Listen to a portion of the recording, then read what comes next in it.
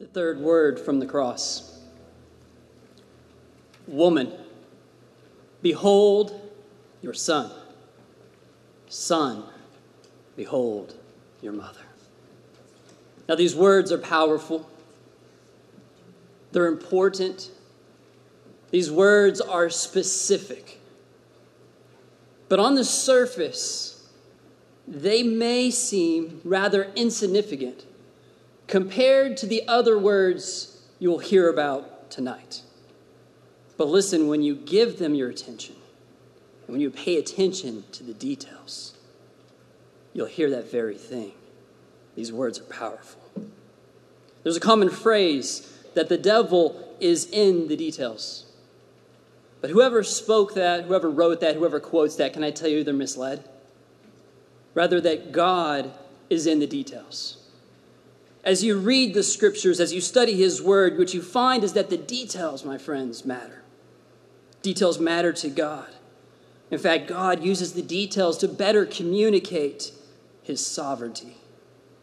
They communicate his wisdom, they communicate that he is who he says he is. And listen, in the details, what you find is that God is God and he is sovereign.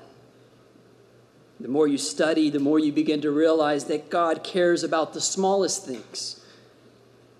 Listen, He can move nations. He can work a plan of salvation for the entirety of all mankind. He can see from generation to generation while able to ordain the smallest and minute details of our lives few members of our church were recently in Jerusalem, and they turned around, they were in line, and they turned around to find they ran into a friend of theirs that they hadn't seen in 25 years.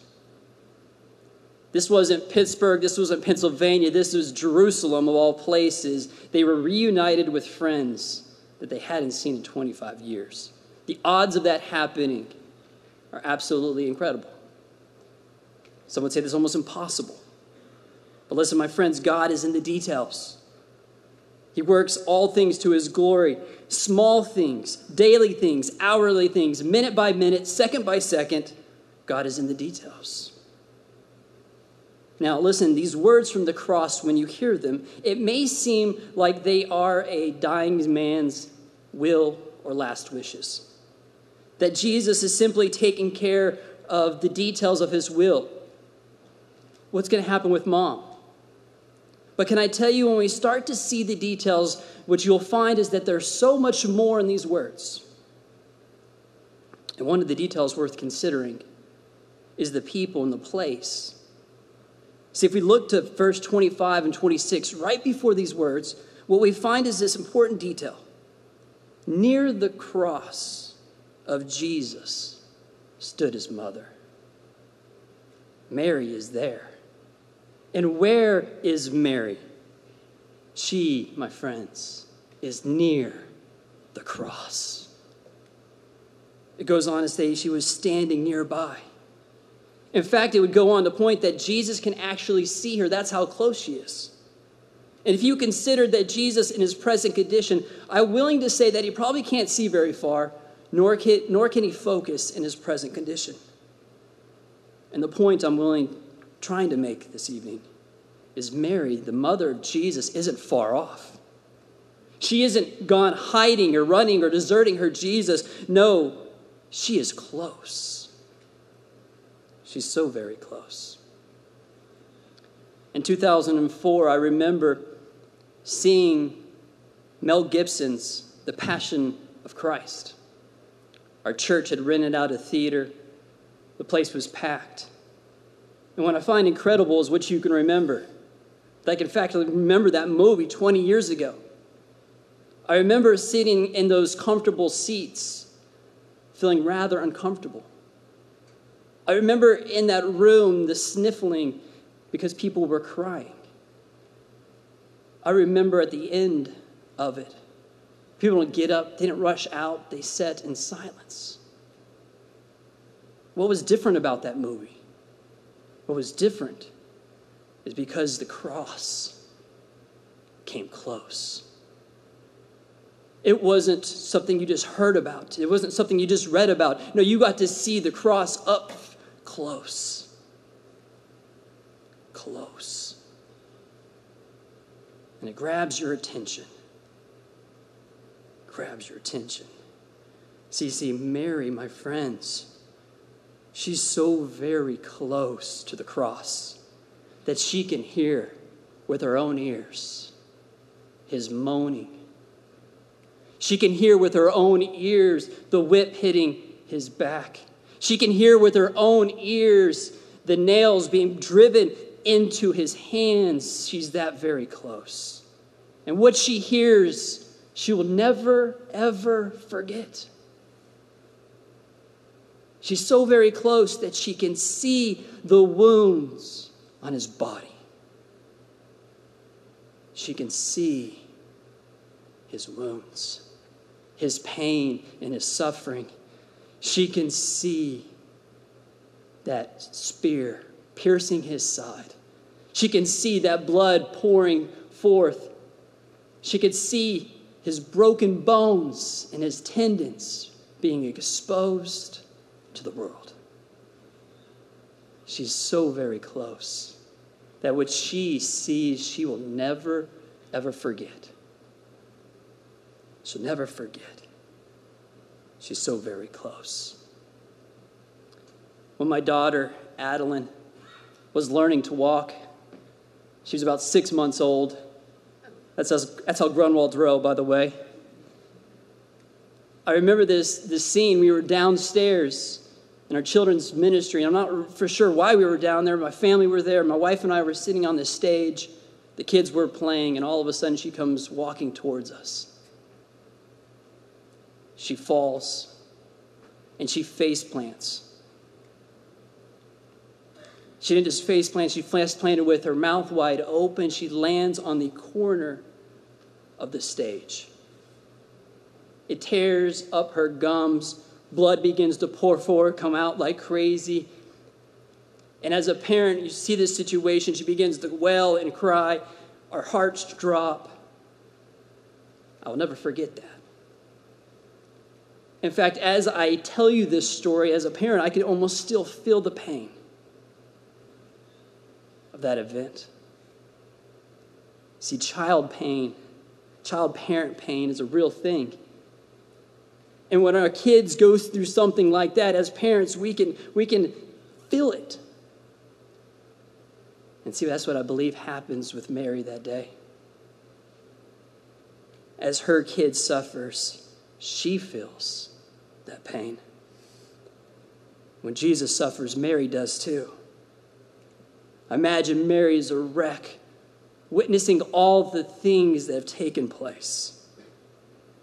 She's a wreck emotionally, which may cause her even to be physically sick. We know that emotionally it can control our physical health.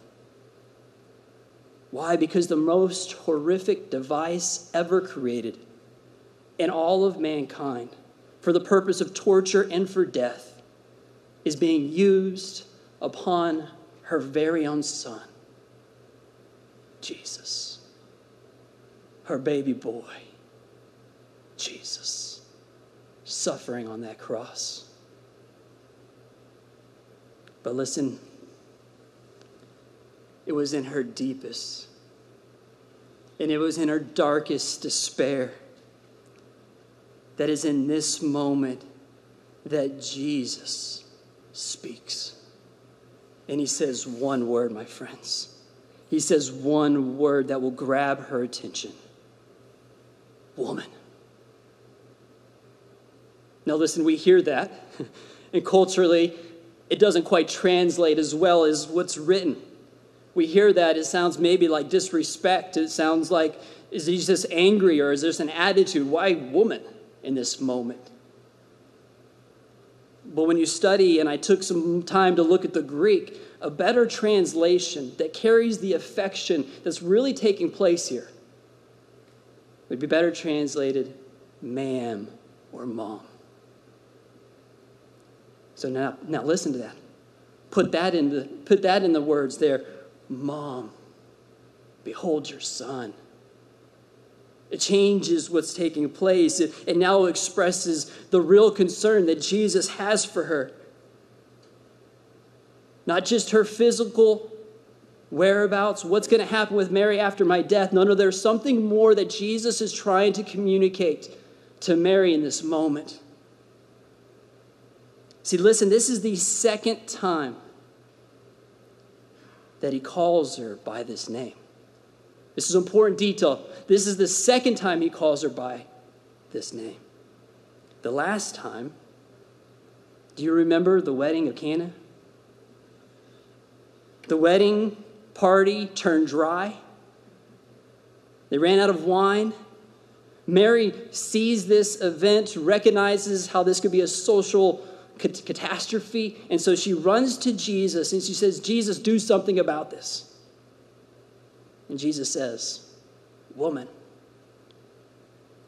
why did you bring this to me? It is not my hour. But did you catch that? He said, Woman, this is not by accident. God is in the details. See, as Jesus speaks to her on the cross, he's reminding her of that conversation at the wedding. He's reminding her that back then it wasn't his time, it wasn't the hour. But now, Mary, it is. Mary, now is my hour. Now is my time. Now it is. He states this to the, the, the, the disciples at the Passover. He says, The hour has come. John 17, he prays it to the Father Father, the hour has come. Now, listen, if you're Mary and you're on your deepest, darkest hours, you feel like you feel pain, you feel what's going on to your son, and you hear these words from Jesus. He calls your name and he reminds you that no one takes my life. No, no, no. No one takes it. I'm here to give it. This is my hour and my sacrifice. Be encouraged. Mom, be encouraged. See, what Mary receives from these words are not just the physical plan for her provision, but awareness of the providential plan of God for the spiritual provision for all mankind. She's let in on the secret. She's made aware of his plan. He's speaking to her on multiple levels. He's speaking to her to the deepest, darkest parts of her soul. What seems like it's out of control, Mary. Oh, no, no, no, it's not. Mary, I know today may feel awful it may feel like a, a loss in your book. Mary, you may have questions. You may not understand what is all happening. This feels like chaos. This feels like it's out of control. And you may feel like you have no hope. But understand, Mama. Understand, Mama. It's my hour. This is my hour. Listen, uh, Mary, I know that I know that you might not get it, and you may just want to quit. You may not understand the plan, and the plan may feel difficult, and your heart may, may want to just, if it's broken, you may just want to give up or, or lay it all down. But understand, this is my plan. And my plan has a great purpose. Mary, get this, Mary, remember, you remember the wedding back when? When everyone was drinking the wine? They were still thirsty, weren't they? It never quenched. You remember Mary, the groom? He was supposed to, it was his job and his responsibility to provide enough wine for everybody, but he was insufficient. Remember those Old Testament sacrifices that didn't work? Remember, Mary, remember the law that could not provide righteousness? Remember the good deeds of men that fall short of the glory of God? Remember human striving? Couldn't quite get there? Listen, Mary, I have a greater plan. You may not understand it all, but I have a great purpose in all of this. No one is taking my life, I'm giving it. I'm in control. That's what, that's what Jesus wanted to communicate. That's what Jesus wanted her to hear. And it's what he wants you to hear.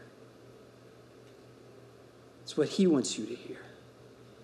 That tonight, you may be broken, you may be wounded, you may be hurt, you may be frustrated, but would you be near the cross?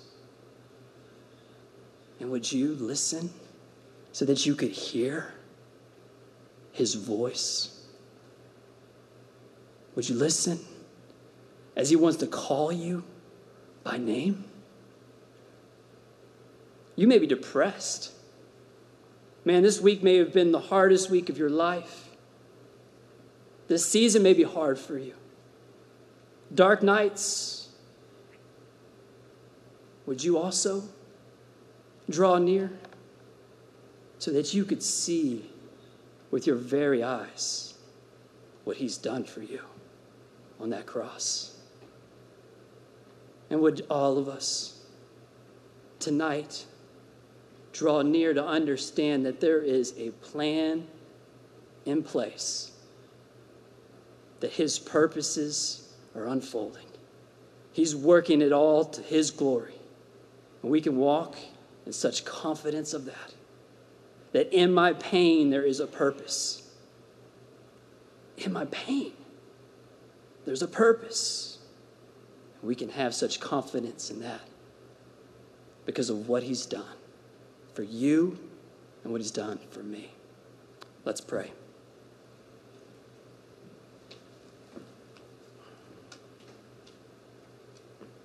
Oh, Heavenly Father, who has set the solitary within the family, and by your Son, Jesus Christ, has made of all believers a new family from all the nations of the earth. Grant, we pray, you, that as we drawn close to the cross, that's what we do. We want to be near the cross. So may we draw close to one another. May the world say again, see how they love one another. And may the world know by our love that we have indeed made your Son, Jesus Christ, to be both our Lord our Savior of the world. It is in His name we pray. Amen.